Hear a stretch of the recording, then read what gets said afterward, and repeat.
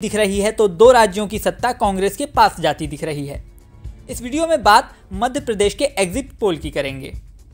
मध्य प्रदेश के एग्जिट पोल ने बीजेपी की बल्ले बल्ले कर दी है।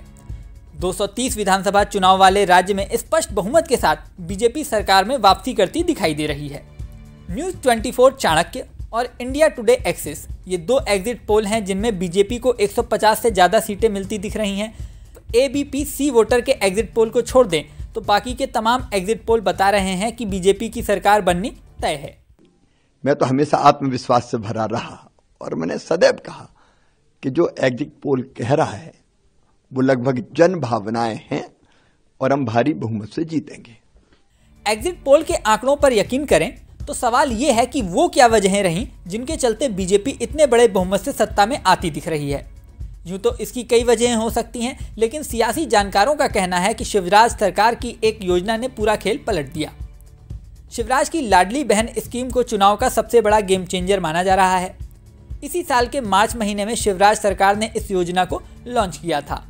लाडली बहन स्कीम के तहत हर महीने महिलाओं के खाते में राज्य सरकार साढ़े बारह सौ रुपये भेजती है।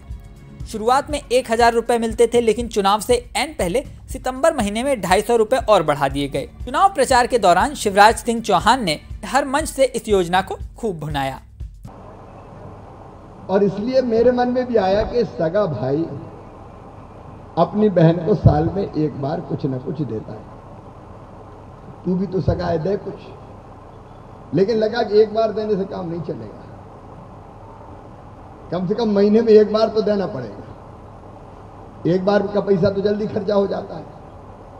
तब मन में आया कि ऐसा करूँ कि हर महीने एक हज़ार रुपया अपनी बहनों के खाते में डालूं तो उनकी ज़िंदगी में आनंद और प्रसन्नता आए। इतना ही नहीं प्रधानमंत्री नरेंद्र मोदी ने भी एक चुनावी सभा में शिवराज सिंह चौहान की स्कीम की दिल खोलकर तारीफ़ की।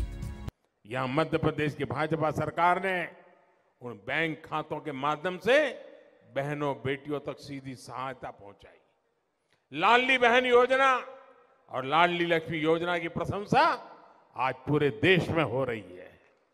इस बार मध्य प्रदेश के चुनाव में महिला वोटरों ने जमकर वोटिंग की। चुनाव आयोग के मुताबिक इस बार छिहत्तर दशमलव शून्य तीन फ़ीसदी महिलाओं ने वोट डाले। ऐसा नहीं था कि सिर्फ़ बीजेपी ने महिला वोटरों पर फोकस किया हो। कांग्रेस ने भी महिलाओं के लिए वादों का पिटारा खोल दिया था। कांग्रेस ने सत्ता में आने के बाद महिलाओं के खाते में सालाना अट्ठारह हज़ार, यानी महीने के पंद्रह सौ रुपये देने का वादा भी किया था। लेकिन एग्जिट पोल के रुझान के अनुसार महिला वोटरों ने शिवराज सरकार पर भरोसा जताया और बीजेपी के पक्ष में वोटिंग की। ऐसे में अगर एग्जिट पोल के आंकड़े हकीकत में बदलते हैं तो इसमें दो राय नहीं कि ये कमाल शिवराज सिंह चौहान की लाडली बहन योजना का होगा। इस वीडियो में फ़िलहाल इतना ही। जल्दी नया वीडियो लेकर आपके सामने फिर आएँगे। बने रहें न्यूज़ नेशन पर। पाँच राज्यों के नतीजों को 2024 लोकसभा चुनाव का सेमीफाइनल माना जा रहा है। लिहाजा नतीजों का इंतज़ार पूरे देश को है। नतीजे तो दो दिन बाद आएँगे, लेकिन उससे पहले तमाम चैनलों के एग्जिट पोल आ गए हैं। दो राज्यों में कुर्सी बीजेपी को मिलती दिख रही